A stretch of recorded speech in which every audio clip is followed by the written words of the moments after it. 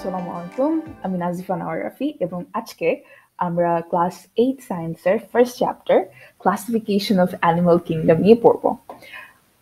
তো দেরি না করে শুরু করা যাক। তো আমরা যখন এই বইটা হাতে নিই, তখন আমরা দেখি না যে খুব বড় একটা ফাইলামের লিস্ট দেওয়া আছে। তো ফার্স্ট অফ অল ফাইলা হচ্ছে ফাইলামের প্লুরাল ফর্ম তো আমরা যখনই একের বেশি ফাইলামের কথা বলব, তখন আমরা ফাইলাম না বলে ফাইলা বলব। তো এখন এই ফাইলাম জিনিসটা কি? ফাইলাম হলো এই যে যেমন আমাদের লিভিং ওয়ার্ল্ড অনেকগুলো কিংডমে ডিভাইডেড ঠিক সেরকম ভাবেই যখন এই কিংডমগুলোকে আমরা আরও ডিটেইলে ডিভাইড করি, এই কিংডমের ভিতর যখন আমরা আরও সুন্দর করে অর্গানিজমস গুলোকে তাদের ক্যারেক্টারিস্টিক্স অনুযায়ী সাজাই, তখন ফাইলাম চলে আসে, তারপরে ফ্যামিলি চলে আসে জেনাস চলে আসে স্পিসিস চলে আসে। এই আরও এই ডিভিশনগুলো নিয়ে আমরা আরও বড় ক্লাসে শিখব বাট আপাতত আমরা জাস্ট ফাইলামের উপর কনসেন্ট্রেট করি। তো এই ফাইলাম এই এই ফাইলামের এই অ্যানিমাল কিংডমে ফাইলাম নয়টা রয়েছে। তো এই নয়টা ফাইলা এই নয়টা ফাইলার আটটা ফাইলাই হচ্ছে ইনভার্টিব্রেট ক্যাটাগরি তো এর মানে কি? এই প্রথম আটটা ফাইলা মধ্যে যেসব, এই প্রথম আটটা ফাইলের মধ্যে যেসব অ্যানিমালসগুলো থাকবে বা যেসব অর্গানিজমসগুলো থাকবে, সেই সব অর্গানিজমসগুলা ইনভার্টিব্রেট হবে। তার মানে কি? তাদের কোনো স্পাইন বা ব্যাকবোন থাকবে না। তাদের কোনো স্পাইনাল কর্ড থাকবে না। কিন্তু লাস্ট যে ফাইলাটা রয়েছে, সেই ফাইলাটা সেই ফাইলাটার স্পাইনাল কর্ড থাকবে বা ব্যাকবোন থাকবে। তো আজকে আমরা শুধু এই প্রথম আটটা ফাইলা নিয়ে ডিসকাস করব। সো শুরু করা যাক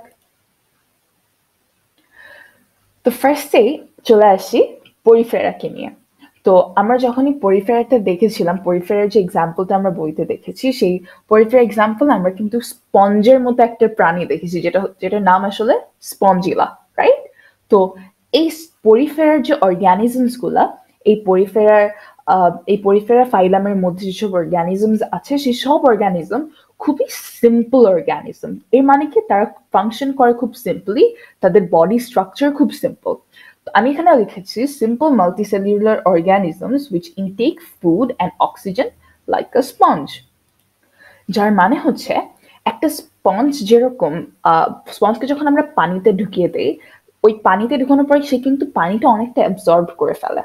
তো যখনই আমাদের এই পরিফেরার যে অর্গানিজমসগুলো থাকবে ওরা যখনই তাদের খাবারের আশপাশে থাকবে বা নিউট্রিয়েন্ট এলিমেন্টস এর আশপাশে থাকবে তখনই তারা স্পঞ্জের মতো সেটা সেটাকে তাদের বডিতে যেসব পোর্স আছে সেসব পোর্স দিয়ে তারা সেটাকে অ্যাবজর্ব করে নিবে তাদের বডিতে that is their mode of nutrition mode of eating or digestion that you can say তো um, এর- এর এক্সাম্পল হচ্ছে স্পঞ্জিলা রাইট তো তার পরেরটা হলো নিডারিয়া। এটা কিন্তু সি নিডারিয়া না, এটা জাস্ট নিডারিয়া। তো এই নিডারিয়াতে আমরা যেসব ক্যারেক্টারিস্টিক্স আমরা দেখতে পাই, সেটা হচ্ছে body has ectoderm and endoderm ecto মানে বাহিরে এন্ডো মানে ভিতরে। যখনই ডার্ম শব্দটা আসবে, তখনই আমাদের বুঝতে হবে ইটস রিলেটেড টু স্কিন বা outer covering body has ectoderm and endoderm মানে বডির একটা আউটার কভারিং আছে এবং ইনার কভারিংও আছে। এবং এর একটি বডি ক্যাভিটি আছে। যখন এই ক্যাভিটি আমরা শুনি তার মানে হলো একটা হলো একটা জায়গা, একটা ফাঁকা জায়গা right body cavity or coelenteron needed for digestion and circulation তো এই সিলেন্টারনের কাজ কি? এই সিলেন্টারনের কাজ হলো ডাইজেশন এবং সার্কুলেশন তো এরপর আমরা দেখতে পাই যে cnidoblast of ectoderm helps in locomotion, hunting of prey and defense. Cnidoblast এক ধরনের স্পেশাল সেল যেটা তাদের একটোডার্মে থাকে মানে বাইরের স্কিনে থাকে যেটা তাদেরকে চলতে সাহায্য করে এবং তাদের তাদেরকে শিকার করতে সাহায্য করে এবং অন্য প্রাণী থেকে যারা তাদেরকে শিকার করতে পারে তাদের থেকে ডিফেন্স করে ডিফেন্স দেয়। এরপরে রয়েছে প্লাটি প্লাটিহেলমেন্থাস তো এই প্লাটি প্লাটিহেলমেন্থাস খুব মজার একটা ফাইলাম আমি বলব। কারণ হলো, এই প্লাটি প্লাটিহেলমেন্থাস বেশিরভাগই প্যারাসাইটিক প্যারাসাইটিক মানে কি? যার যেসব অর্গানিজম একজন হোস্টের উপর ডিপেন্ড করে, একজন লিভিং হোস্টের উপর ডিপেন্ড করে সে বাঁচে। তার মানে কি? যে সে নিজের গাছের মতো সে নিজে তার তার ফুড প্রডিউস করতে পারে না। তাকে অন্য, সে অন্য অর্গানিজমকে মেরে বা অন্য অর্গানিজমকে হান্ট করেও সে চলতে পারে না। তাকে একটা তার একটা হোস্ট লাগে, একজন লিভিং হোস্ট লাগে, যার যার যার উপর নির্ভর করে সে বেঁচে থাকতে পারবে। যার, যাকে সে চুষে খেয়ে বেঁচে থাকতে পারবে বা যাকে সে, যার রক্ত চুষে সে খেয়ে বেঁচে থাকতে পারে বা এরকম কিছু। বলে যে রক্ত চোষা, ঠিক ওরকমই প্লাটি হেলমেন্থাস তো প্লাটি হেলমেন্থাসের বডি স্ট্রাকচারটা কীরকম? ফ্ল্যাট বডি হবে এবং সে মোস্টলি প্যারাসাইটিক এবং সে অনেক কিছু কিছু এক্সেপশন থাকতে পারে যে সে প্যারাসাইটিক না। তো এন্ডো প্যারাসাইটিক হতে পারে, একটু প্যারাসাইটিক হতে পারে। এখন এন্ডো প্যারাসাইটিক হলো যে যে প্যারাসাইটগুলো বডির ভিতরে থাকে। আর একটু প্যারাসাইটিক সাইটিক যেসব অর্গ্যানিজম তারা হলো বডির বাইরে থেকেই, তারা হোস্টের বডির বাইরে থেকেই তারা তাদের নিউট্রিয়েন্টসগুলো কালেক্ট করে তারা বেঁচে থাকে। এবং আরেকটা খুব ইম্পর্টেন্ট টার্ম এখানে হলো বাইসেক্সুয়াল এই প্লাটি হেলমেন্থাস বাইসেক্সুয়াল হতে পারে। তার মানে কি? সে একই সাথে ফিমেল হতে পারে ফিমেল ক্যাটাগরি হতে পারে, সে একই সাথে মেল ক্যাটাগরি হতে পারে। তো তারপরে আমরা দেখি যে the body is covered with thick cuticle তার মানে তার বডির উপর মোমের মতো একটা আস্তরণ থাকবে। সেটা খুব খুব মোটা করে একটা আলাদা একটা আস্তরণ তার বডির উপরে থাকবে।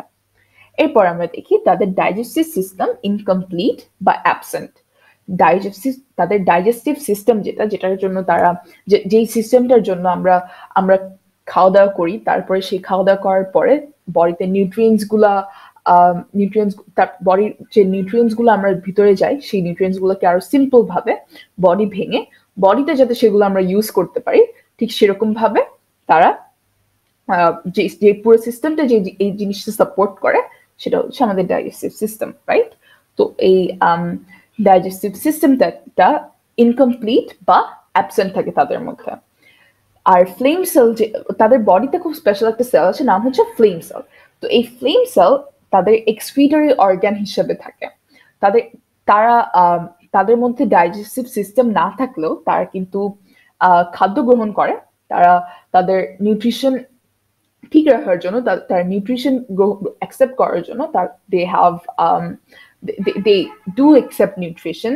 So um, afterwards সেই নিউট্রিশন থেকে বা সেই ফুড থেকে যেসব যেসব মেটেরিয়াল তারা তাদের বডিতে আর কাজে লাগে না সেসব মেটেরিয়াল এক্সপেল করে দেওয়ার জন্য they have flame cells which act as excretory organ তারপরে আমাদের নেমাটোডা আসে। নেমাটোডা হচ্ছে আমাদের সেম একটা প্লাটিহেলমেন্থাসের মতোই অনেকটা একটা ফাইলাম প্লাটিহেলমেন্থাসের এক্সাম্পল যেরকম টেপ ওয়ার্ম ছিল, সেরকমই নেমাটোডার এক্সাম্পল হচ্ছে গ্রাউন্ড ওয়ার্ম তো এই, এর নেমাটোডার ক্যারেক্টারিস্টিক্সগুলো অনেকটাই সিমিলার এর বডি টিউবুলার এর বডি এর বডিতে থিক স্কিন আছে বডিতে ক্যাভিটি থাকলেও বডিতে হচ্ছে ট্রু সিলাম নাই বা বডিতে ট্রু লাইনিং নাই। তারা ইউনিসেক্সুয়াল তার মানে তাদের তাদের কোনো স্পেসিফিক কোনো একটা জেন্ডার থাকবে বা একটা সেক্সুয়ালিটি থাকবে। Either it's male or it's female so এরপরে আমরা দেখি যে তাদের ডাইজেস্টিভ সিস্টেম আনলাইক প্লাটিহেলমেন্থাস তাদের ডাইজেস্টিভ সিস্টেমটা কমপ্লিট এবং they have mouth and anus which is the beginning and ending of the digestive system and কিন্তু তাদের খুব মজার একটা বিষয় হচ্ছে, তাদের কোনো সার্কুলেটরি সিস্টেম বা রেসপিরেটরি সিস্টেম থাকবে না। সো আজকে আমরা পড়লাম পরিফেরা নিডারিয়া প্লাটিহেলমেন্থাস ও নেমাটোডা নিয়ে। এবং নেক্সট ক্লাসে আমরা যেটা করব, আমরা বাকি চারটা ফাইলা যেটা রয়েছে, যেটা যে চারটা ফাইলা ইনভার্টিব্রেট ক্যাটাগরি অ্যানিমালসদের জন্য পড়ে, সেই চারটা ফাইলা অ্যানিলিডা আর্থোপ্রোডা মোলাস্কা এবং ইকাইনোডার্মাতে নিয়ে পড়ব। So till then stay tuned to Schoolscape and um, like this video, share this with your friend who's struggling with science, and um, don't forget to subscribe to Schoolscape. And if you have any questions reg- regarding the whole lecture, just drop down in the comment sections below. Assalamu alaikum.